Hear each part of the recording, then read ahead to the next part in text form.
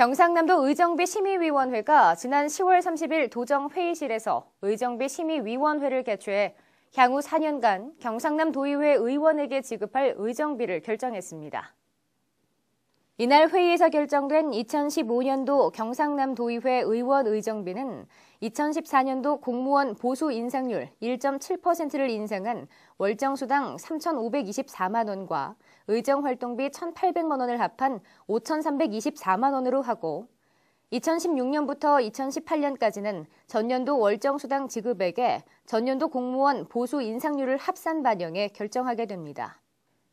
한편 이번 인상 결정은 2012년 현재 의정비 지급 금액이 결정된 이후 지금까지 동결된 점과 물가 인상률, 공무원 보수 인상률 등 실질적인 요인들이 고려된 것으로 보여집니다.